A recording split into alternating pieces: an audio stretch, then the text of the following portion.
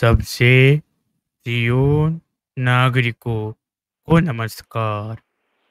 एक मगरपुर खबर आज से फाइव हंड्रेड और एक हज़ार के नोट होंगे बाइन।